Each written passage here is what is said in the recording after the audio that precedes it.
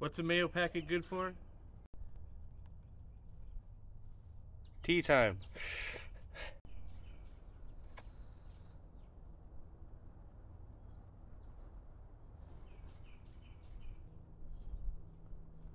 Four! Four!